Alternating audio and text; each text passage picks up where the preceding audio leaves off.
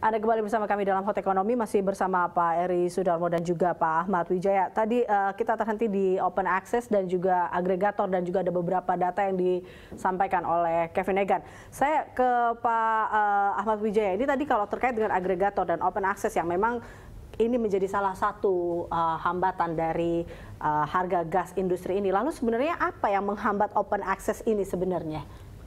Yang menghambat tuh sebetulnya menterinya aja berani. Apa tidak? Hmm. kuncinya ada di kementerian. Keberanian? Iya keberanian. Nah kalau ESDM kementeriannya juga udah tahu bahwa open access harus betul-betul punya hak untuk lepas harusnya Pak Yonan udah harus secepat-cepatnya untuk melakukan hal itu supaya tidak mengganggu yang disebut setiap kita bahas kita kan berbicara PNBP kemudian kita berbicara paradigmanya pemerintah menerima semua income menjadi negara bukan menjadi penggerak ekonomi. Hmm. Itu kan pembahasan yang sangat makro. Sekarang yang very detail yang sudah di depan mata yang sudah bisa jadi bagian daripada keputusan politik dan menjadi baik untuk secara komersial itu open access-nya dulu dikerjakan. Permen 19 diganti. Dibuatlah open semua, gak ada dedicated, clear jadi satu hmm. satu line kan. Hmm. Ini keputusannya kan ada di kementerian dan kementerian di dalam hal penurunan harga gas yang di Permen 40 tadi kan sudah jelas bahwa pemerintah yang dari presiden sudah mendukung. Untuk mendukung ambil dari kantong sini, ambil dari kantong sini, income sini, semua kan susah. Sekarang yang paling gampang adalah open access, agregator, one price, one strategy. Selesai. Pak Eri, Anda menganggap hal yang sama kah? Sependapat dengan uh, Pak Mati ya? Iya, tapi saya mungkin ditanya tadi kenapa uh, susah sekali membuat open access. Yeah. Sekali saya katakan lagi, open access itu saudara kembar uh, dengan dengan unbundling. Hmm. Kalau sekarang kita punya pipa baru kita lewatkan baru investasi 400 juta dolar, tiba-tiba ada suruh open access, ya kan? Karena approach-nya itu komersial. Sementara kalau public apa namanya gas pipa ini itu namanya public utilities.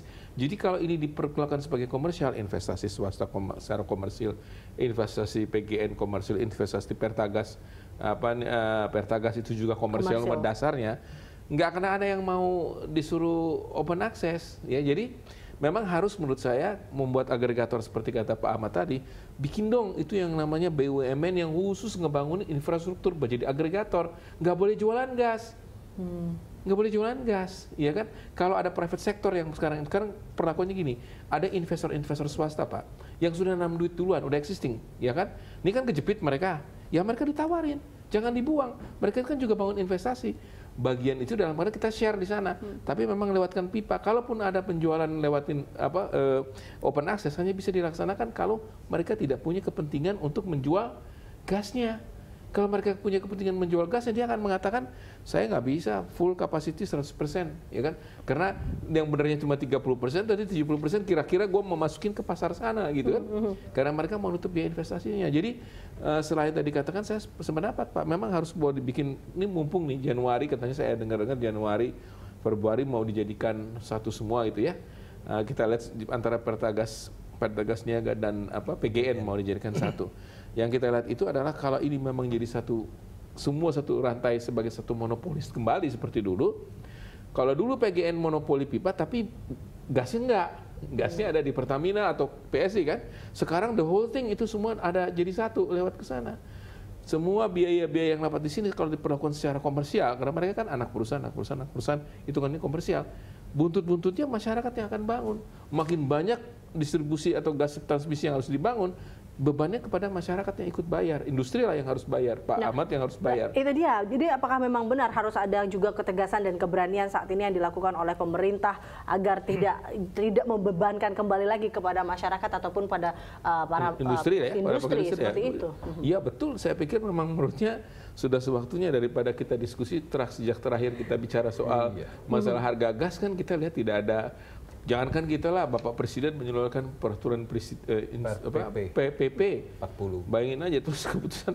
Itu sampai sekarang kan hasilnya nggak ada. Belum ada Iya, hasilnya. belum ada Da- Dan ini kita lihat juga akhirnya banyak ba- para industri memilih untuk eh, dengan karena mahalnya harga gas saat ini Pak Eri, ini Iya. kita kita melihat mereka cenderung untuk lebih baik mengimpor eh, dari luar. Ini ini ada melihat bahwa mungkin Pak Eri pun juga merasakan dan teman-teman di lapangan juga lebih baik saya impor daripada saya ambil dari domestik lebih harga Nah, lebih itu murah. udah ketawa itu Pak Ahmad tuh. Sebenarnya yang berlaku juga bukan bukan beliau. Kemarin kan sudah ada ya kan yang mau impor LNG kan, ya kan? iya. Karena mungkin udah jengkel barangkali. Ya mungkin LNG kita kan banyak.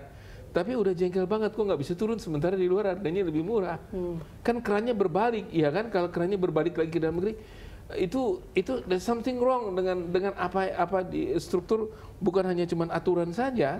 Ya aturan bisa dibuat turunin harga, tapi semua bagaimana sistem ini dibentuk, ya kan sistem trading kita dibentuk gas ini, kemudian pembangunan pipa dan lain, ada yang something wrong di situ, ya kan?